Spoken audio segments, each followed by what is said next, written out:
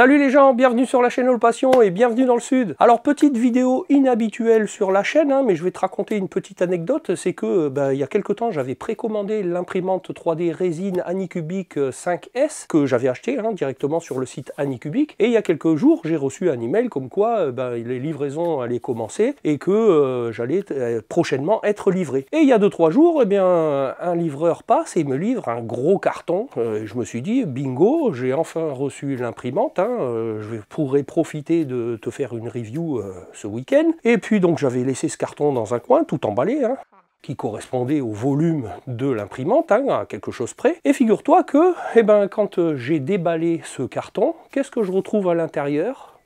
Ce que tu as vu dans la miniature, une enceinte. Alors cette enceinte m'a été envoyée par Geekbuying, alors bon ben merci à eux, mais je sais toujours pas pourquoi, hein. peut-être ils se sont dit que quand je faisais des vidéos dans mon garage, ça manquait peut-être de musique en arrière-plan, ils savent peut-être pas que si tu mets pas des musiques libres de droit, tu te fais strike la vidéo sur YouTube, et quand je me suis décidé à la sortir du carton pour la mettre en service et que je me suis rendu compte de sa facilité d'utilisation et de son champ d'application, bah, je me suis tout simplement dit que ça pourrait potentiellement peut-être t'intéresser aussi. Alors cette enceinte, quelle est-elle? Eh bien c'est une enceinte Tron Smart, hein. je connaissais absolument pas la marque avant de la voir pour la première fois. Elle pèse, hein. premier abord, première prise en main, je me suis dit, bah, c'est du matériel quand même assez cossu, hein. elle pèse, je l'ai pesé, 5 kg 8, puissance 130 watts, ça c'est ce que les caractéristiques généralement que les gens se demandent. Au niveau de sa fabrication, bah, tu vois, un support en caoutchouc dessous pour la pose a priori, elle est étanche, alors euh, va pas la jeter non plus euh, dans une piscine, même sur leurs vidéos que je suis allé voir sur YouTube. Chez eux, ils jettent ça carrément dans la mer hein, et puis la posent dans le sable. Bon, en tout cas, moi, j'ai pas fait le test, hein, je prends pas le risque quand même. Mais dans tous les cas, euh, étanche aux projections,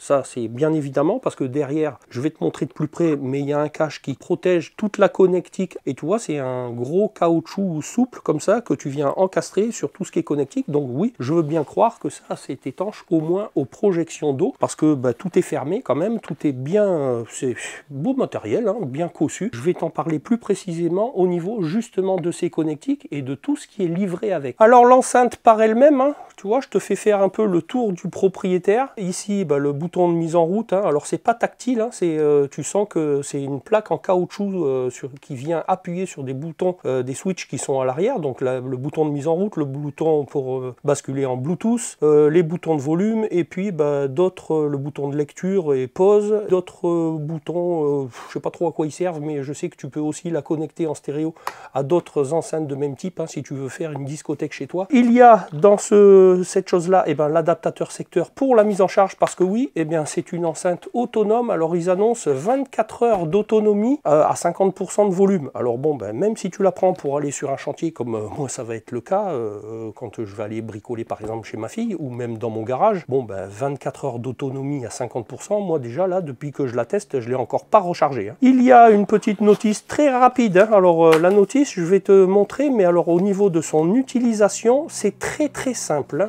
Hein. Tu vas voir, je vais t'en parler après, mais ça tient sur deux pages. Hein. Un cordon jack-jack, Hein, qui te sert à relier éventuellement une autre source audio euh, comme un lecteur MP3 par exemple si tu possèdes ça et également un carton qui contient quoi? Eh ben un micro avec euh, le bouton on-off que tu peux connecter à l'arrière de l'enceinte avec ce cordon jack micro classique hein. alors moi tu vois il est resté dans le carton parce que bon ben moi euh, chanter ça c'était dans une ancienne vie hein, parce que je suis aussi musicien je t'en ai encore pas parlé je joue du sax et puis je chantais avant dans un groupe. Bon en tout cas ça si jamais tu veux chanter, elle bascule automatiquement en mode karaoké aussi. Donc euh, bon, bah moi ça, ça reste dans le carton pour l'instant. J'ai pas prévu de chanter tout de suite. Alors au niveau de la connectique arrière, justement, hein, alors tu vois, ce cache caoutchouc là dont je te parlais, euh, qui protège et bien tout ça, qu'est-ce qu'on retrouve? Ah ben moi je trouve ça terrible, hein. Un port de micro SD, tu vois, tu peux insérer une micro SD sur laquelle tu pourras mettre des musiques, mais également un port USB, le fameux port aux pour brancher bah, une autre source externe avec ce cordon jack-jack qui est livré Tu peux également y raccorder une guitare. Hein. Alors si tu veux t'en servir de petit ampli pour jouer euh, de ta guitare électroacoustique par exemple, ou eh bien brancher le micro ici et tu peux ajuster justement le volume de ces deux choses-là. Tu peux également euh, régler le gain ici en utilisant un petit tournevis et ensuite eh bien, le port de charge euh, avec l'adaptateur secteur qui est livré ici. Voilà tout simplement ce qu'il y a à l'arrière. Mais au niveau des sources externes que tu peux lui mettre, je trouve ça quand même terrible que ce ne soit pas exclusivement que du Bluetooth, hein, comme euh, beaucoup d'enceintes connectées. Hein. Moi j'ai une Bose à la maison, ben, à part du Bluetooth, hein, tu peux pas y rentrer euh, tout ça. Ça je trouve ça quand même pas mal d'avoir cette diversité possible au niveau des sources externes que tu peux lui affecter. Alors comment ça s'est passé pour moi pour la première mise en route de cette enceinte Tronsmart Bangmax Oui, c'est comme ça qu'elle s'appelle. Et eh ben j'ai tout simplement mis en route l'enceinte en appuyant deux secondes sur le bouton on-off. Tu vois, t'as entendu, elle s'est mise en route. J'ai ouvert ensuite mon smartphone, hein. je suis allé dans Bluetooth, elle est apparue de suite, j'ai cliqué dessus, elle s'est appairée tout de suite, il n'y a pas besoin de rentrer dans une configuration euh, comme euh, certaines enceintes où il faut maintenir le bouton, rentrer un code d'appairage, bref là, tu cliques sur l'enceinte, terminé, et j'ai envoyé de la musique, et ça a été réglé. T'as entendu? Là, c'est juste que je viens d'appuyer sur le bouton Bluetooth de l'enceinte. Hein.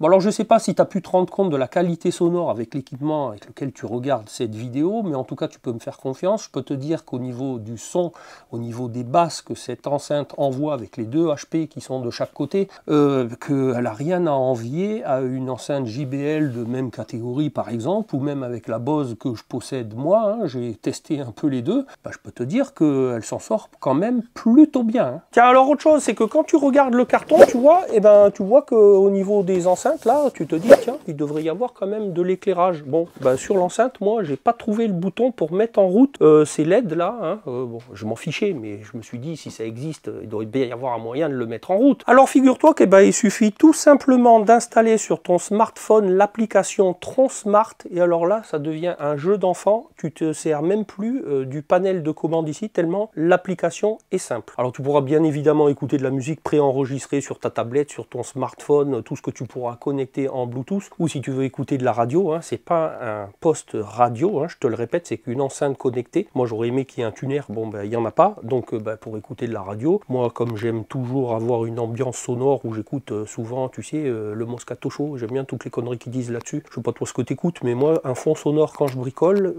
voilà, tu vois, c'est cette petite ambiance que j'aime bien. Bon ben je passe par l'application RMC et puis que je m'envoie, je fais pas de pub, hein, c'est juste que je te dis ce que moi j'aime écouter parce que voilà, ça me fait rigoler, tu penses à autre chose. Bref, alors je reviens justement sur cette appli smartphone que je te rappelle est vachement simple d'utilisation pour euh, commander et utiliser euh, cette enceinte Transmart euh, Bank Max. Tu ouvres tout simplement cette application, comme je te le disais, il suffit de sélectionner en haut à gauche et eh bien l'enceinte Transmax qui la détecte tout de suite. Alors tu peux bien évidemment envoyer la musique directement. En haut à gauche, eh bien tu peux aller voir la version du firmware éventuellement et on te dit que bah, tu as utiliser le dernier firmware, hein, parce que moi quand je l'ai eu mise en route, eh ben, ça m'a détecté tout de suite qu'il y avait un nouveau firmware, qu'elle allait mettre à jour son micro-logiciel, donc euh, bah, quand j'ai eu connecté l'enceinte, j'ai eu ce message, elle s'est mise à jour, et puis euh, elle a redémarré toute seule, euh, voilà, puis j'ai rebasculé sur cet écran principal. En bas à droite, eh bien c'est là que tu vas pouvoir commander et bien, le fait que tu puisses choisir divers modes de sonorité différentes, hein.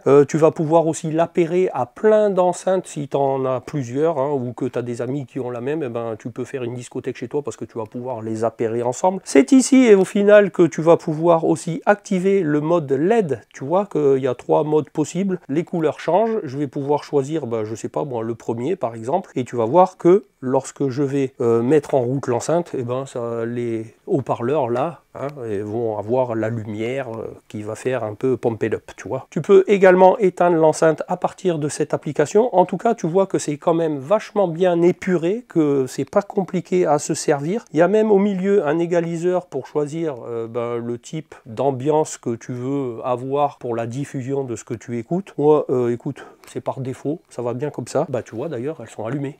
Là, elles sont allumées et puis elles vont être rythmées euh, en fonction de la musique que tu écoutes et en fonction du mode LED que tu auras choisi. Alors bon, moi, c'est pas une fonction que j'utilise, mais enfin, si tu veux te faire plaisir, toi, ou si tu veux anticiper tes cadeaux de Noël pour un ado, par exemple, hein, qui veut une chaîne IFI dans sa chambre, enfin, en tout cas, une enceinte connectée comme ça, pour aller avec ses potes, pour aller se baigner l'été près de la rivière, ou pour aller à la plage. Et même toi, hein, si euh, tu es en vacances et que bah, tu veux écouter de la musique quelque part, tu vas pouvoir l'emporter avec toi, écouter de la musique là où tu veux, euh, faire du karaoké, t'as vu, brancher ta guitare. Bref, euh, plein de petits services quand même que bah, moi, franchement, je suis assez surpris déjà de la qualité de fabrication de cette enceinte. C'est vraiment cossu, robuste, ça fait pas quincaille quoi. Moi été vraiment agréablement surpris par cette enceinte là, je connaissais absolument pas la marque. Et eh ben je me suis dit que c'était peut-être une bonne idée que de te la présenter. Voilà pourquoi je t'ai fait cette vidéo rapide sur le sujet. Bon voilà les gens pour ce qui était de cette présentation de cette petite enceinte, hein, euh, vidéo euh, un peu inhabituelle sur la chaîne, hein, parce que même si euh, le monde de la hi-fi, de la musique, c'est quelque chose que j'affectionne particulièrement parce que bah, je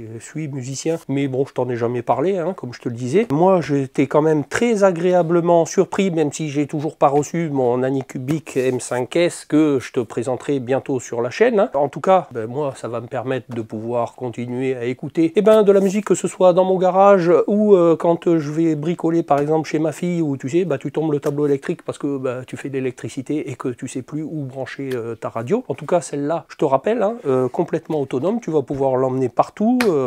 Franchement, toutes les sources que tu peux lui rentrer à l'intérieur, ça aussi c'est quand même un très bon point avec cette enceinte. Hein. Je te rappelle micro SD, clé USB. Tu vas pouvoir brancher ta guitare. Si tu veux chanter, bah, tu pourras aussi chanter en karaoké. Je l'ai testé, ça marche. Hein. Tu balances de la musique, tu chantes dessus. Euh, ben, franchement, ça fait le taf. Hein. Tu vas pouvoir t'amuser aussi. Et enfin, son prix, 180 euros. Je te mettrai le lien dans la description. C'est aussi pour ça que je t'en parle. parce que bah, moi, j'ai regardé les enceintes de chantier pour euh, trimballer euh, lorsque je vais bricoler ou dans mon garage. Mais quelle que soit la marque, on les 300 euros. Je te parle même pas avec l'enceinte Bose que j'ai dans la maison qui vaut trois fois son prix. Alors rapport qualité-prix, que ce soit pour sa puissance et sa qualité sonore, je trouve ça juste incroyable. En tout cas, une nouvelle fois, si tu veux faire plaisir à quelqu'un, que tu veux anticiper tes cadeaux de Noël, c'est aussi pour ça la raison que je te présentais ce produit, hein, parce que bah as vu, euh, design quand même qui ressemble fortement à des marques bien connues d'enceintes. Moi, euh, franchement, je ne peux que te la recommander si jamais ça te fait plaisir. Je te mets les liens de ça, bien évidemment, dans la description de la vidéo. Après, tu feras comme tu veux, hein, bien entendu. Il faut toujours, comme je te le dis, adapter et acheter son, ses équipements en fonction de ton réel besoin. En tout cas, si tu as trouvé intéressant que je te présente ça dans cette vidéo, eh ben, je compte sur toi pour me le témoigner avec un petit pouce, à me le dire dans les commentaires et à partager la vidéo. Ça pourra aussi peut-être intéresser quelqu'un dans ton entourage. À t'abonner à la chaîne si ce n'est pas déjà fait, surtout d'activer la petite cloche avec toutes les notifications si tu veux être informé de la sortie de mes prochaines vidéos. Je te rappelle que tu peux toujours aller checker les anciennes, tu pourras trouver utile, divertissant, enrichissant.